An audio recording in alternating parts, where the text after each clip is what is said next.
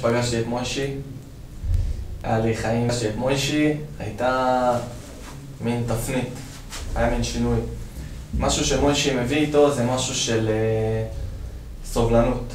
משהו שאני באמת אה, ראיתי עליו, ועם הרבה שיחות והרבה, הרבה באמת אה, מהטוב לב שלו, אני אימצתי את התכונה הזאת של הסובלנות.